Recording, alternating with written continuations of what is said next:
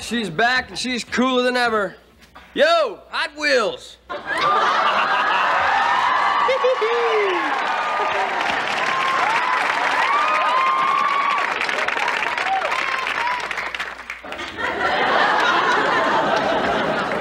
What have you done to my baby? Nothing. I found the store.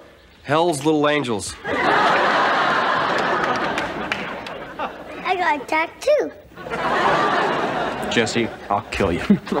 Relax, it washes off. Born to behave? Yeah, she wants to be like her Uncle Jesse. Please take over the sale. No discounts.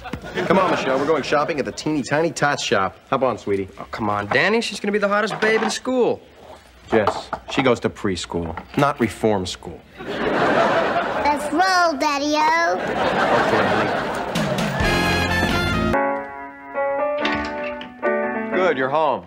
Jess, I'd like to show you how a three-year-old without a police record is supposed to dress. Come on in, honey. Hello, gentlemen. What happened to my motorcycle mama? But she even washed off her tattoo. With lavender soap. So, Jess, how'd my yard sale go? Terrific. Got rid of everything. No.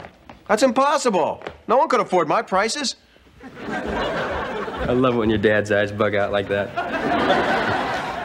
well, sorry you got stuck with another cutesy dress, pal. I like this dress. I picked it out myself. Yeah, but you like the stuff that I picked better, right? Nah, You didn't like those biker clothes? I like them for Halloween. Oh, no. I did to you what my dad used to do to me. He was always dressing me up just like him.